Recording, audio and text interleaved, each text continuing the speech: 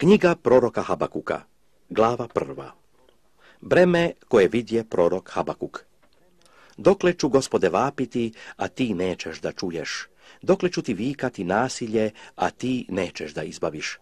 Zašto puštaš da vidim bezakonje i da gledam muku i grabež i nasilje pred sobom i kako podižu svađu i raspru?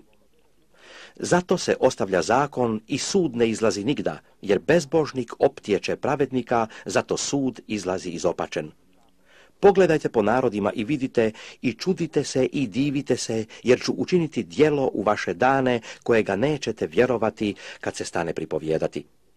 Jer evo, ja ću podignuti haldejce, narod ljut i nagao, koji će ići po zemlji širom da osvoji naselja koja nijesu njegova.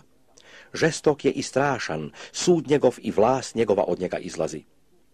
Konji će mu biti brži od risova i ljuči od vukova uveče.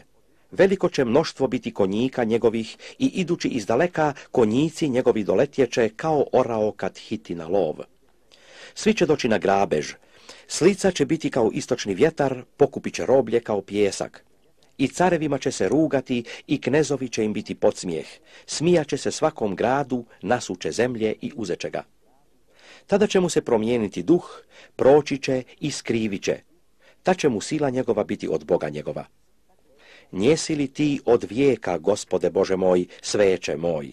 Nećemo umrijeti. Ti si ga, gospode, odredio za sud i utvrdio si ga stijeno za karanje.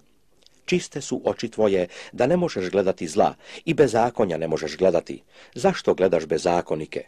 Mučiš kad bezbožnik proždire pravijega od sebe. I hoćeš li ostaviti ljude kao ribe morske, kao bubine koje nemaju gospodara?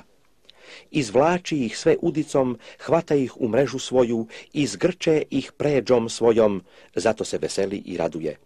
Zato prinosi žrtvu svojoj mreži i kadi svojoj pređi, jer je tim dio njegov pretio i hrana mu izabrana. Hoće li zato izvlačiti mrežu svoju i jednako ubijati narode nemilice?